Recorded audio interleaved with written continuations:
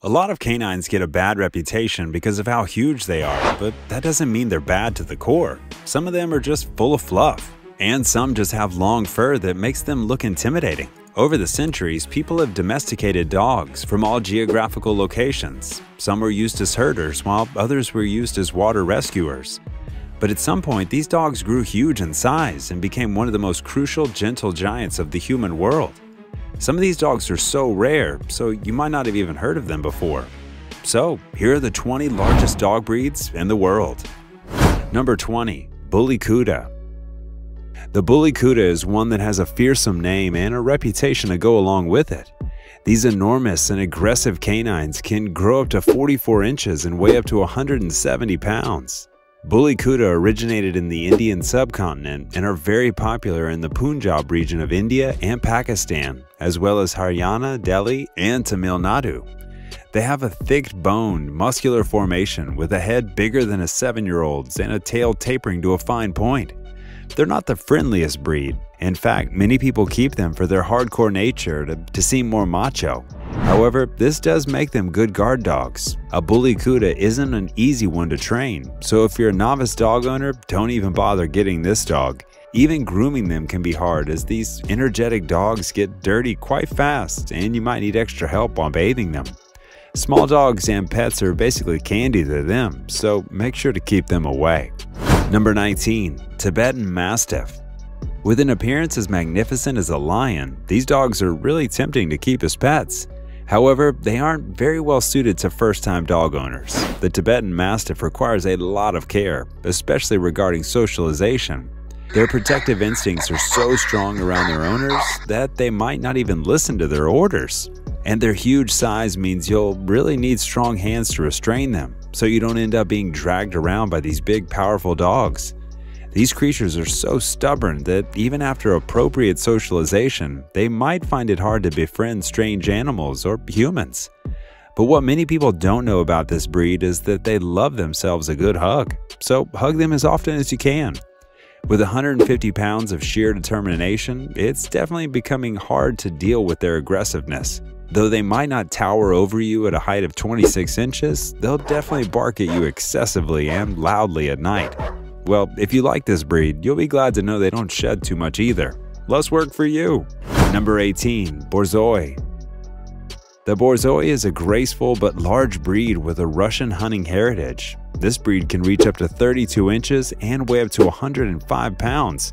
Despite all that, they still eat relatively small amounts. They were used for hunting down animals such as wolves, foxes, and hares. That's why they have excellent skills when it comes to speed, agility, and endurance. The word borzoi is Russian for swift. So if Barry Allen were to have a pet dog, it's got to be the borzoi. They are a type of the hound family known as the sight hound, which means they hunt using their eyes to find and chase prey. When taking care of a borzoi, their heritage should be kept in mind since they require a lot of exercises and need to run free for at least one and a half hours. These gentle giants can be very affectionate with their families, so if you have any kids, they're sure to be protective of them. Just make sure these animals don't knock over younger children. Number 17. Thai Ridgeback The Thai Ridgebacks have a fascinating history. They were used as watchdogs, hunting dogs, and escort cards. In some areas, they were responsible for killing cobras. They're usually about 24 inches and only 60 pounds, so not the biggest, but still quite strong. This breed shares its ancestors with the pariah dog, which likely originated when dogs first started to evolve from wolves. They're not fond of strangers and are even weary of the slightest changes around the house, such as a new piece of furniture. However, you won't often see them get into conflicts or confrontations, as they have a soft character. These athletic dogs need an energy outlet, or they might just ruin your fancy sofas for fun. This quality is what makes them really good sports dogs. Other than that, they have no undercoat, hence, they shed very little. All we see are advantages. Number 16. Brazilian Mastiff. One of the rarest working breeds is the Fila Brasileiro, who are incredibly courageous and determined. This makes them extremely devoted to their family, and the fact that they can grow up to 30 inches and weigh up to 110 pounds just means they're incredibly strong. The word filar means to seize, which is what these dogs were meant to do. They'd chase down an animal and capture it so that the hunter could pin them down.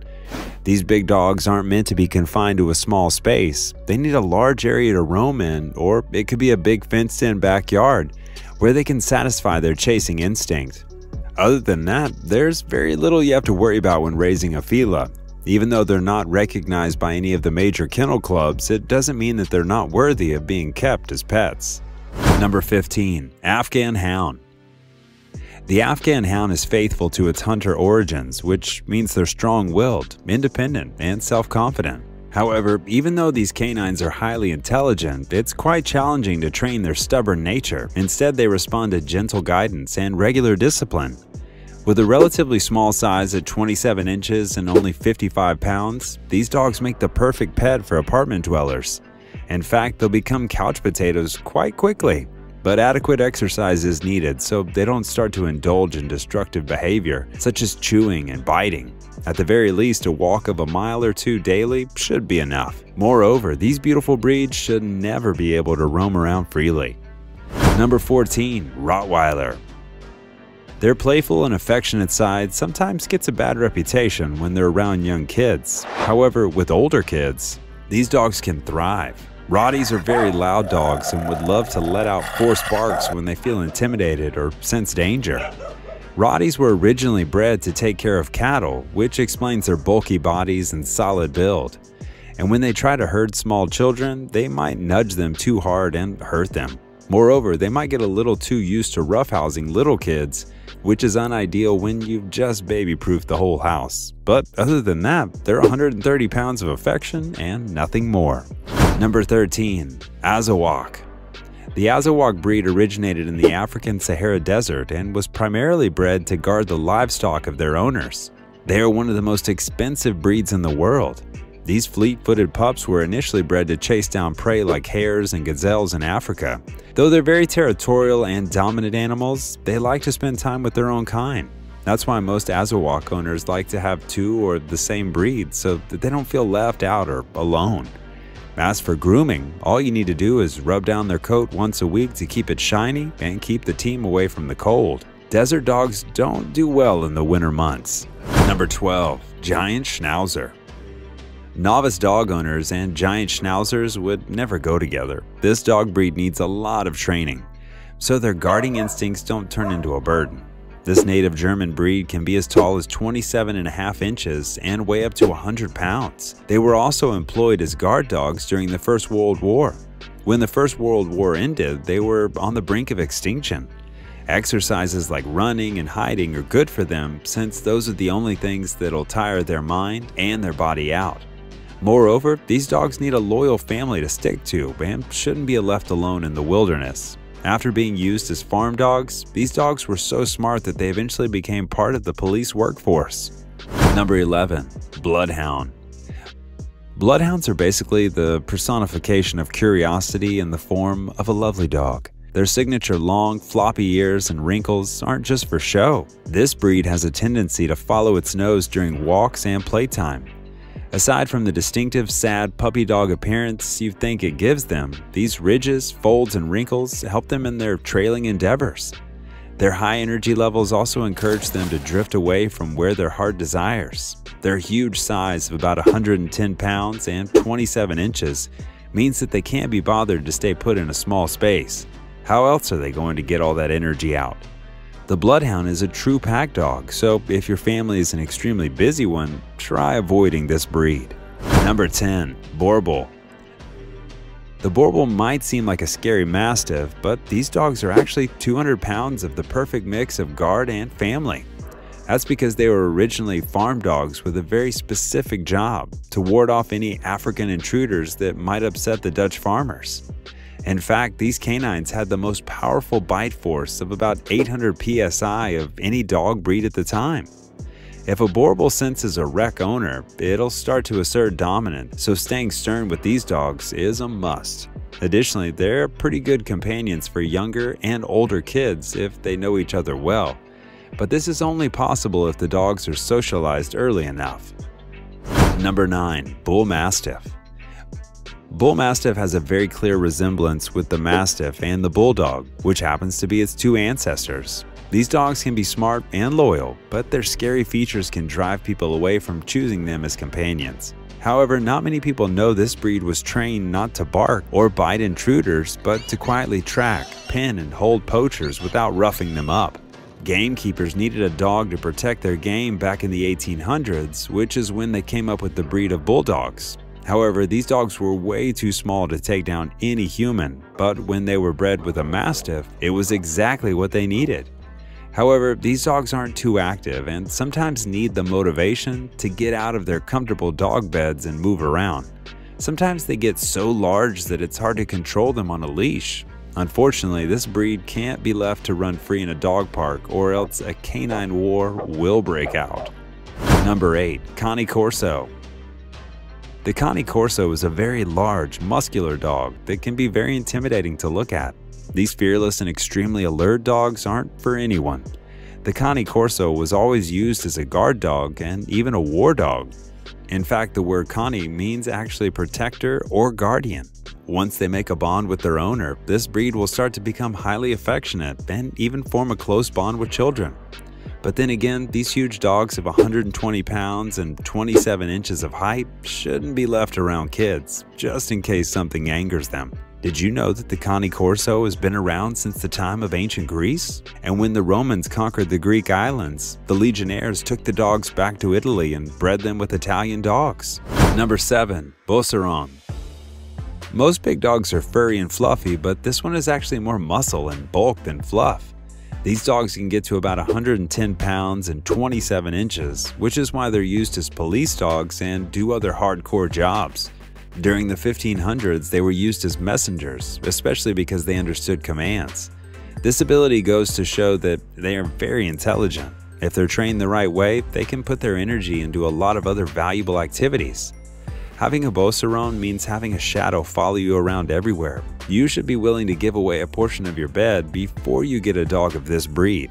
They also have a unique ability to sense the slightest change in their owner's mood and do what they can to try and improve it. Number 6. Newfoundland Dog If you ever get an opportunity to meet a Newfoundland dog, chances are you'll fall in love with them. Literally, you'd be hard-pressed to find a breed sweeter than them, especially for breeds their size.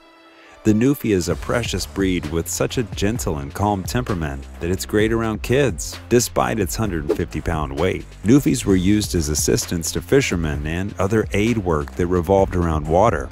These dogs have webbed feet and would often help with water rescues, fishing nets, and cart hauling. They have a very thick double coat that helps to keep them warm from the cold waters they're used to swimming in. Luckily, this results in baths only every month or so, but you won't be able to do that all alone because of how big they can get. Number 5. Leonberger The Leonberger, or the Leo, is a big dog with a very hard-working spirit. The breed went extinct during the First World War, but luckily they pulled through. They were initially bred in the name of the glory of the city of Leonberg. However, a lion was depicted on the coat of arms instead of a dog. One thing about this breed is that they're huge droolers, so much so that some owners even keep a slobber cloth with them. Leos aren't the type to just kid around. They need to have some sort of job to keep themselves occupied, whether it's obedience, completion, or even guarding their homes. These intelligent dogs can handle most situations very well, as long as they're trained well. Number 4. Irish Wolfhound Dubbed as one of the tallest of all dog breeds, these dogs are a true epitome of a gentle giant. Despite the imposing size of the Irish Wolfhound, they have a very friendly temperament.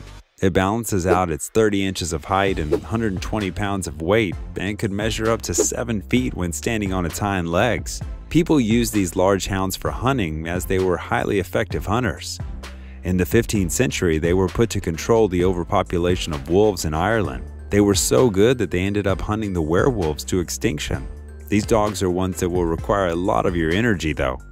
Since they come from a hunter background, you need to make sure they get to use their legs enough. But don't let their sheer size and hunting history trick you into thinking these dogs would make great guard dogs. They're entirely not suspicious of strangers and would rather be sweet to them than aggressive. Number 3. Scottish Deerhound with a lean and long physique, it's no surprise that this breed is about 110 pounds in weight and can reach up to 32 inches of height. The Scottish Deerhound has been around since the 16th century and is even known as the royal dog of Scotland. They were once used to hunt down red deer, and though they're larger and heavier than greyhounds, much of their primary purpose is just to be fast. A Scottish historian called it the most perfect creature of heaven. During the 18th century, they became so much of a royalty that anyone below the rank of Earl was not allowed to own the breed. However, they're definitely not the best guard dogs with how sweet and friendly they are. In fact, they prefer not to be alone and like to spend time with children, but only if they've been properly socialized. Unfortunately, they're not city dogs and would much rather have big yards to run around in. Number 2. St. Bernard this cuddly breed might be a giant, but they have even bigger hearts than you can imagine. St. Bernards belong to a lineage of dogs such as the Sennenhunds, which served as rescue dogs and farm dogs in the Alps. Besides being used as a standard service search and rescue dog, they also make very loving family companions. Like many other big dogs, these dogs also need some training since they forget how to act their size. However, with a height of 27 inches, weighing 180 pounds, and thick fur, they can do quite well in winters. In fact, their heightened sense of smell was used to find people lost in a thicket of snow in the Swiss Alps. In the past, the working St. Bernards were much smaller than they used to be, but their size is what makes them adorable. Before we get to our last pick on the list, let us know if you would adopt one of these dogs for yourself, and if we missed out on any other big pooches. Don't forget to like the video, subscribe to Forever Green, and hit that bell icon for more. And number 1. Great Danes Finally, we have the most gigantic dog breed, as recognized by the American Kennel Club, but only in terms of height. Although they are called the Great Danes, they aren't Danish. The Great Dane is a German breed that bonds closely with its owners and makes amazing family dogs. Your house doesn't need to be of enormous size to house these big dogs, but they wouldn't mind some extra space for their fluffy tails. Unfortunately, unlike other gentle giant canines, the Great Danes have a shorter life expectancy. The most recent record holder of the tallest dog was held by Zeus, who was an astonishing 44 inches. With 200 pounds of sheer love and affection in them, they might make heavy lap dogs, but it'll all be worth it. Well, that's it for today's video. We'll see you in the next one.